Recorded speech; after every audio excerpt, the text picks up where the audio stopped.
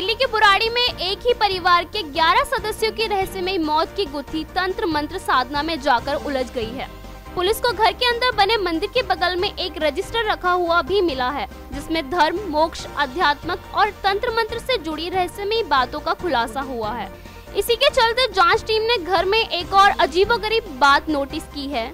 घर की बाहर की दीवार जो कि खाली प्लॉट की तरफ़ है, इस दीवार पर पानी के 11 पाइप निकली हुई हैं। जिसमें से चार पाइप के मुँह सीधी दिशा में हैं, तो वहीं इनमें से सात पाइपों के मुँह नीचे की तरफ़ हैं। दरअसल मृत मिले 11 सदस्यों में से सात महिलाएँ थी और चार पुरुष सदस्य थे। जिन पाइपों के मुँह नीचे की ओर हैं, उन पर महिलाएँ व जो सीधी दिशा में पाइप थे उन पर पुरुष लटके हुए पाए गए। हैरानी की बात यह है कि अंदर से जो रजिस्टर पुलिस को बरामद हुआ है उसमें मौत का पूरा तरीका लिखा हुआ है।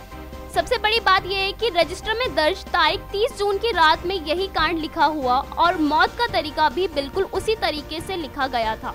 जिस तरीके से मौत हुई आप तस्वीरों में देख सकते हैं कि 11 पाइप घर से बाहर निकली हुई हैं। इसमें से सात पाइपों के मुँह नीचे की तरफ़ तो वहीं चार पाइपों के मुँह ऊपर की तरफ़ सीधे हैं।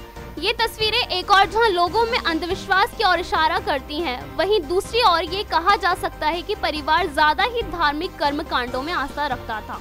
तो लाजमी है कि परिवार तमाम चीज़ों पर विश्वास रखता होगा। तो इसीलिए उन्होंने अपने घर की दीवार के बाहर पाइप लगवाई होंगी।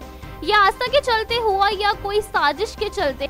इस बात का खुलासा तो सभी की पोस्टमार्टम रिपोर्ट आने के बाद ही हो पाएगा कि ये हत्या थी या आत्महत्या। रजनी यादव तेज निगाह दिल्ली।